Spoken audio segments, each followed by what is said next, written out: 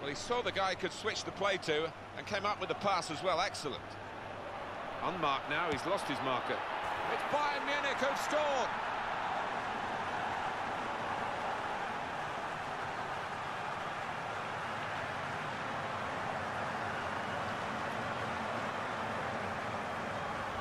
And that is a contender for goal of the season without question.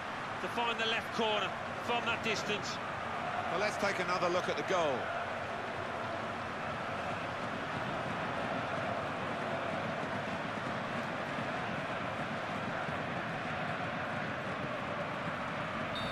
Is Bayern Munich.